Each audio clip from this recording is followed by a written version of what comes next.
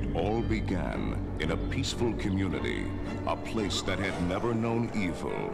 Until now.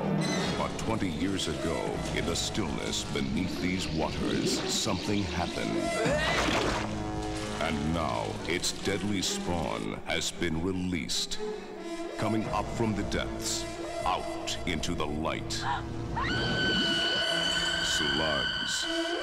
First, they got into the water system. Now they'll get into your system. Oh my god! They ooze. There's something down there that's killing people. They slime. We got a new dead body showing up every 10 minutes. They kill.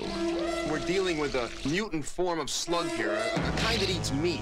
It has three or four rows of teeth. Don't turn on the tap. Don't go in the basement. No! Get out of it! Steer clear of the sewers. And whatever you do, don't make out while your parents aren't home.